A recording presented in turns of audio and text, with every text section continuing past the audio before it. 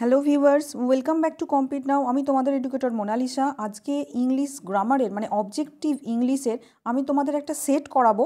তো এই সেটটা বিভিন্ন পরীক্ষার জন্য ইম্পর্টেন্ট ঠিক আছে? যেমন বলতে পারো, সামনেই আছে পিএসসি এবং এটা পিএসসিরই প্রিভিয়াস ইয়ার বলতে পারো পিএসসি মিসলেনিয়াস টু থাউজেন্ড নাইনটিনের যে কোয়েশ্চেন সেই কোয়েশ্চেনের সলিউশন এটা।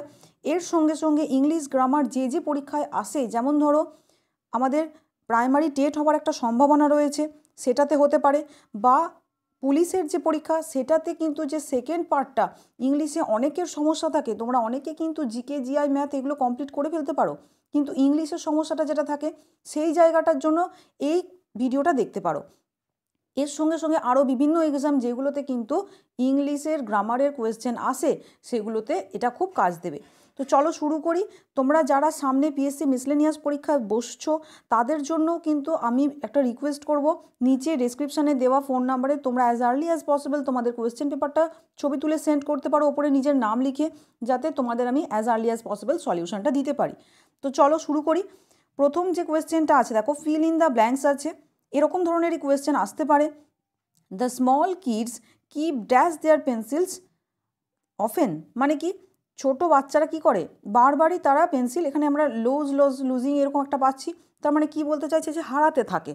তাহলে কিপের সঙ্গে কোনটা কারেক্ট অ্যান্সার হবে? এখানে তোমাদের বুঝতে হবে লুজিং লুজিংটা হচ্ছে correct answer keep losing keep দেখার পর চেষ্টা করবে এরকম আইএনজি দিয়ে দিতে, ঠিক আছে?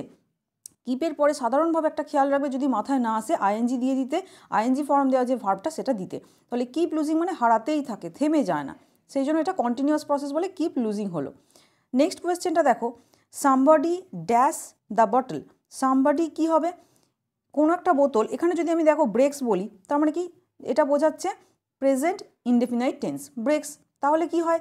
যে সে অভ্যাসগতভাবে বোতল ভাঙে। সেটা তো হয় না। বা ব্রেকিং মানে ভাঙছে, কেউ একজন ভাঙছে, বোতল ভেঙেই যাচ্ছে, এটাও ঠিক দেখবে মিনিংটা আসছে না। কিন্তু এই বোতলটা কেউ একজন ভেঙে ফেলেছে, এটাই আমরা বলি সাধারণভাবে। তাই জন্য হ্যাজ ব্রোকেন মানে যে কাজটা এই মাত্র হয়ে গেছে, তার এফেক্টটা এখনও আছে, সেটাকে প্রেজেন্ট পারফেক্ট টেন্স বলা হয়। ঠিক আছে? তাহলে এইটা হলো somebody has broken the bottle এরপরেরটাতে চলে যাচ্ছি টেন্স রিলেটেড কখন কোনটা ইউজ হয় সেই রিলেটেড ভিডিও তোমাদের রিকোয়ারমেন্টটাও আমাকে কমেন্ট সেকশানে জানিয়ে দিয়ে একটু ভালো হয় তাহলে। রিকোয়েস্ট করব একটু জানাতে যে তোমরা কোন বিষয়ে ঠিক ভিডিও চাইছো, কোন বিষয়ের জন্য তোমরা প্রিপেয়ার হচ্ছ। তাহলে সেই রিলেটেড যে পয়েন্টটাতে তোমাদের উইকনেস আছে, সেই পয়েন্টটাকে নিয়ে আমি এক্সপ্লেন করে ভিডিও দেব। এবার দেখো কি আছে। The finance minister dash a new policy তাহলে ফিনান্স মিনিস্টার একটা নতুন পলিসি লাগু করেছেন, তাই তো? বা নতুন পলিসি এখানে যেরকম আছে অ্যানাউন্স করেছেন। তাহলে এরকম যদি বলা হয়, সেই অ্যানাউন্সমেন্টটা নিশ্চয়ই হ্যাজ অ্যানাউন্সড এটাই হওয়ার কথা। কেননা সেটা এইমাত্রই হয়ে গেছে বা অ্যানাউন্সমেন্টটা কিছুদিন আগেই হয়ে গেছে, তারপর আমরা কথাটা বলছি ইজ অ্যানাউন্সিং মানে এই মুহূর্তে অ্যানাউন্স করছেন মানে এখন সেটা প্রোগ্রেসে আছে, এটা হয় না। অ্যানাউন্সেস মানে কি? রেগুলার তিনি অ্যানাউন্স করেন, তখন আমরা কি বলি? অ্যানাউন্সেস কোনোটাই নয়। তাহলে অ্যানাউন্স করেছেন এবং তারপরে সেইটাকে নিয়ে কথা হচ্ছে। সেই জন্য হ্যাজ অ্যানাউন্সটা হচ্ছে এখানে কারেক্ট অ্যান্সার ঠিক আছে? নেক্সট কোয়েশ্চেনে চলে যাচ্ছি। দেখো he has dash return from London he has already মানে সে অলরেডি লন্ডন থেকে ফিরে পড়েছে। জাস্ট মানে কি, এই মাত্রই লন্ডন থেকে ফিরেছে। এরকম আমরা বলি না। লন্ডন যেহেতু অনেক দূরের, আমরা এই মাত্রই ফিরেছে এইভাবে বলি না। আমরা বলি কি অলরেডি সে ফিরে পড়েছে। হয়তো একদিন আগে বা দুদিন আগে সে ফিরেছে, তাহলে অলরেডিটা হচ্ছে কারেক্ট অ্যান্সার আনটিল নাও মানে এখনও পর্যন্ত ফিরেছে। এরকম হয় কি? এখনও পর্যন্ত সে ফিরেছে? হয় না। এই জন্য অলরেডিটা কারেক্ট অ্যান্সার নেক্সট কী আছে দেখো? May I remind you that the computer is still under guarantee under guarantee মানে কি? গ্যারান্টি পিরিয়ডের মধ্যে আছে। মানে সেটাকে এক্সচেঞ্জ করে দেওয়া হবে। মানে রিপেয়ার করে দেওয়া হবে। এরকম বলা হয়। তাহলে আন্ডার গ্যারান্টি এই টার্মটা ব্যবহার করা হয়। তাহলে বুঝতে পারছ সচরাচর যে যে টার্মগুলো আমরা ব্যবহার করি সেগুলোকেই তোমাকে কিন্তু চোখ, কান খোলা রেখে বাসে ট্রেনে যখন যেদিকেই যাও না কেন, নতুন কিছু ওয়ার্ড দেখলে পেলে, যেমন ধরো ট্রেনের মধ্যে ডোন্ট লিন আউট লেখা থাকে এল ই এ এন তো সঙ্গে সঙ্গে তুমি ওটা মাথায় বসিয়ে নেবে লিন আউট তার নিচেই দেখবে, বাইরে ঝুঁকিবেন না লেখা আছে। তাহলে লিন আউট মানে কি? এটা হচ্ছে একটা তোমরা বলতে পারলে লিনের পরে আউট বসছে, এটা একটা গ্রুপ ভার্বের মধ্যেও পড়ল লিন মানে ঝোঁকা। তাহলে এইগুলোও কিন্তু তোমার মাথায় আসতে থাকল। ইংলিশটাকে এইভাবে সহজ করে নাও। নেক্সট কোয়েশ্চেনটাতে যাচ্ছি দেখো। এখানে বলা হয়েছে যে কোনো পাঁচটা সেন্টেন্সকে এরর কারেকশন করে তোমাদের রিরাইট করতে হবে। যদিও পিএসসি মিসলেনিয়াসে এরকম থাকবে, কিন্তু অন্যান্য যে পরীক্ষাগুলোতে এইভাবে দেওয়া হয় না। সেখানে কারেকশান এমনি দেওয়া হয়, সেখানে কোন পার্টটাতে কারেকশান করতে হবে, কোন পার্টটাতে ভুল আছে, সেই অপশানটা ক্লিক করতে হয়, যেহেতু এটা ডিসক্রিপটিভ তো তোমরা এটাকে কী করবে? কারেক্ট করবে। দেখো Tina needs leave her house at seven o'clock every morning. এখানে নিডসের পরে আমাদের কী দিতে হবে? নিডসের পরে দিতে হবে টু। নিডসের পরে কী দেবে? নিডস এবং লিভের মাঝে টু দিতে হবে। এবার দেখো কেন দিতে হবে? কারণ এখানে যে সেন্টেন্সটা রয়েছে, এই সেন্টেন্সটা কি আছে? Positive sentence. ঠিক আছে? মানে এটা একটা অ্যাফার্মেটিভ সেন্টেন্স বা পজিটিভ সেন্টেন্স রয়েছে। তাকে সকালবেলা এই সময় বাড়ি থেকে যেতে হয়। তাহলে এরকম যখন পজিটিভ সেন্টেন্স থাকে তখন অক্সিলারি ভার্ব হিসেবে নিড এবং ডেয়ার নিড এবং ডেয়ার থাকলে তারপরে আমরা অক্সিলারি ভার্ব হিসেবে তারপরে টু ব্যবহার করতে পারি, ঠিক আছে? কিন্তু কখন পারি না? যখন নেগেটিভ এইরকম নেগেটিভ কোয়েশ্চেন থাকে মানে না সূচক কোয়েশ্চেন থাকে আর ইন্টারোগেটিভ কোয়েশ্চেন থাকে, তখন কিন্তু আমরা নেগেটিভ ইন্টারোগেটিভ কোয়েশ্চেনে অক্সিলারি ভার্ব হিসেবে যদি ডেয়ার বা নিড ব্যবহার হয়, তখন কিন্তু তারপরে টু ব্যবহার করা হয় না। মানে এটাকে বলা হয় ডাইরেক্ট ইনফিনিটিভ মানে কি? ভার্ব তার সঙ্গে ইনফিনিটিভটা থাকবে না মানে ডাইরেক্ট ইনফিনিটিভ টুটা থাকবে না টুটাই ইনফিনিটিভ এবার দেখো, এখানে তোমাদের সমস্যা এটা হতে পারে যে এখানে এটা যে অক্সিলারি ভার্ব সেটা জানব কী করে। এইভাবে দেখো, আমি যেরকম বলছি Tina needs leave her house এখানে যদি আমি ডু ভার্বটাকে আমরা জানি auxiliary verb Tina do not leave her house ধরো এরকম বসালাম, ধরো বসালাম, তাহলে do not leave her house do নটটা হচ্ছে কি? অক্সিলারি ভার্ব অক্সিলারি ভার্বের সঙ্গে নট ব্যবহার করা হয়। সেরকমই তারপরে লিভটা হচ্ছে মেন ভার্ব তাই তো? তাহলে ডুটা যখনই যেখানটাতে বসাতে পারছ, তখনই বুঝে নেবে এটা হচ্ছে অক্সিলারি ভার্ব ঠিক আছে? এখানে নিডসের পরিবর্তে ডু বসাতে পারলে অক্সিলারি ভার্ব এইভাবে বোঝো। দেখো, আগামী পরীক্ষাগুলোতে কিন্তু তোমাদের এরকম কোয়েশ্চেন এলে বা এই টাইপের কোনো দিন তোমার আর ভুল হবে না। ক্লিয়ার করে ব্যাপারটা বুঝলে। এরপরে দেখো, চলে যাচ্ছি। Henry neither told Mary nor her sister that he had lost his job কি বলা হচ্ছে, এটাকে যখন আমরা চেঞ্জ করব, এটাকে কি করতে বলা হচ্ছে দেখো, এখানে এই যে টোল্ড ওয়ার্ডটা পাচ্ছ, এই টোল্ড এই ভার্বটা তোমাকে কোনখানে দিতে হবে? Henry Henry told neither Mary nor her sister Henry বলেছিল ম্যারিকেও নয়, তার বোনকেও নয়, ঠিক আছে? তাহলে নাইদারের পরে যখন সাবজেক্ট দেওয়া থাকছে, যেমন এখানে দেখো নর হার সিস্টার নরের পরে যখন সাবজেক্ট দেওয়া থাকছে হার সিস্টারটা সাব এখানে একটা অবজেক্ট বলতে পারো, ঠিক আছে? বা কোনো একজন নাউন প্রোনাউন বলতে পারো। তেমন নাইদারের পরেও আমাদের কিন্তু কোনো একটা সাবজেক্ট বা অবজেক্টটাকে রাখতে হবে। মানে অবজেক্টটাকে এখানে নাউনটাকে এখানে রাখতে হবে।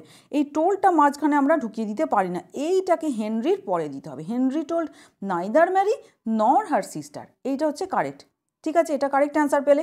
এরপরে দেখো there was a negligent amount of liquid in the test tube এখানে কি হবে? নেগলিজেন্টটা মানে এখানে নেগলিজেন্টটা ঠিক ইউজটা ঠিক নয়।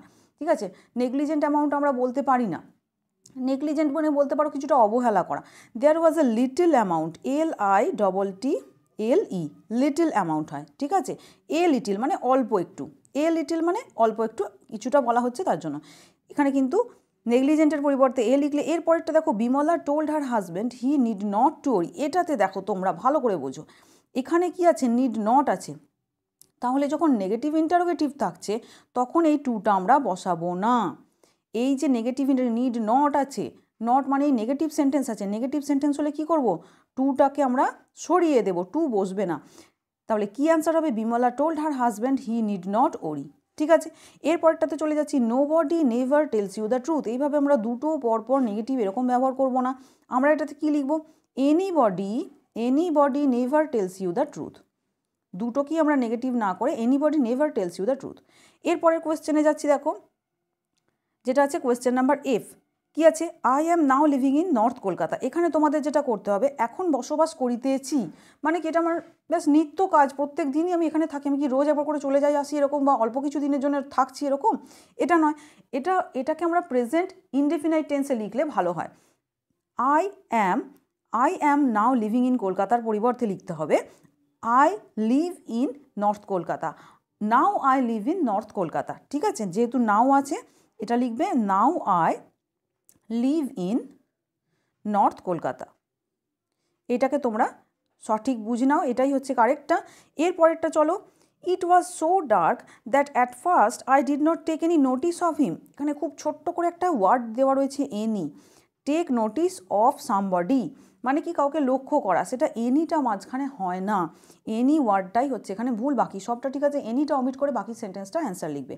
The lack of freedom and social justice is obvious for every এখানে দেখো দ্য ল্যাক অফ ফ্রিডম আবার অ্যান্ডের পরে আবার একটা সাবজেক্ট অ্যাড করা আছে সোশ্যাল জাস্টিস এই যে দুটো দুটো সাবজেক্টকে যখন এরকমভাবে অ্যাড করা রয়েছে মানে এটা প্লুরাল হচ্ছে, তাহলে ইজটাকে করতে হবে আমাদের আর ঠিক আছে?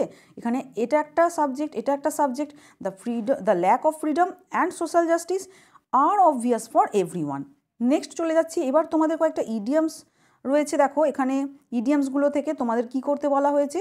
মেক সেন্টেন্স করতে বলা হয়েছে। টেক আফটার দেখো টেক আফটার মানে কি বোঝায়? যখন যে একদম সিমিলারিটি দেখতে একই রকম। এরকম কিন্তু ডাব্লিউবিসিএস এর কোয়েশ্চেন আছে, এই জন্য তোমরা যারা ডাব্লিউবিসিএস দিচ্ছ প্রিলিমিনারি তারা কিন্তু এটাকে দেখবে সমস্ত দিকে ইংরেজি গ্রামার কখনো চেঞ্জ হয়ে যায় না। যে আগামী পরীক্ষাগুলোতে সবগুলোতে কিন্তু এটা ইম্পর্টেন্ট হতে চলেছে। টেক আফটার থেকে কি হয় দেখো? The girl takes after her mother মেয়েটিকে তার মায়ের মতো দেখতে। এখানে তোমরা যখন করবে, সেটা খেয়াল রাখবে যে টেক্স আফটার করলে টেক্স কেননা গার্লটা হচ্ছে থার্ড পার্সন সিঙ্গুলার নাম্বার এইগুলো যেন ভুল করে ফেলবে না, তাহলে কিন্তু মার্কস কাটবে। এরপরে দেখো পিকচার পারফেক্ট মানে একদম সঠিক। একদম সঠিক, যেটা যার মধ্যে কোনো মানে ভুল নেই, দোষ নেই বা কোনো কমপ্লিকেশন নেই, সেটা পিকচার পারফেক্ট পিকচারে যেরকম দেখায় সেই রকমভাবে ঠিক। The bride was picture perfect on her wedding day কোনো দাগ নেই, ছোপ নেই, মুখে কোনো বা কোনো রকম অসুবিধা নেই। তাহলে এটা কি বলে? The bride was picture perfect on her wedding day তার বিয়ের দিন কীরকম লাগছিল ব্রাইডকে পিকচার পারফেক্ট লাগছিল। এরপরে দেখো apple of my eye apple of one's eye মানে কি? চোখের মনি একদম খুব প্রিয়জন সেরকম বলা হচ্ছে। The son is apple of his father's eye ঠিক আছে?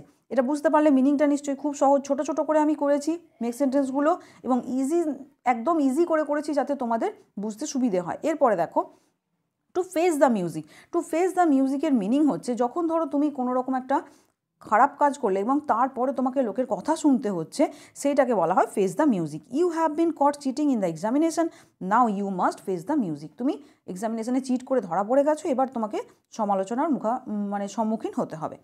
লুক ব্যাক লুক ব্যাকটাতে চলে যাচ্ছি দেখো, এটার মিনিং হচ্ছে, এটাতে দেখো যেমন থিঙ্ক অ্যাবাউট পাস্ট মানে পাস্টের ব্যাপারে কিছু চিন্তা ভাবনা করা। তাহলে after a breakup never look back যখন তোমার ব্রেকআপ হয়ে যাচ্ছে, তারপরে কিন্তু আর পিছনে চিন্তা করো না মানে মানে পাস্টে কী হয়েছিল সেটা নিয়ে চিন্তা করো না।